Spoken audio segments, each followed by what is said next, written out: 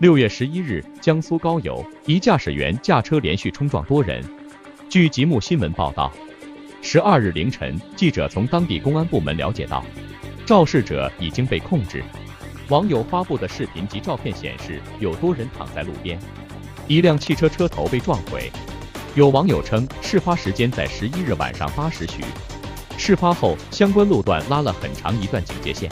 十二日凌晨，高邮市应急管理局确认发生了相关事故，并表示相关原因及人员伤亡情况正在调查。记者从高邮市公安局了解到，肇事者已被警方控制，肇事原因等具体情况仍在调查。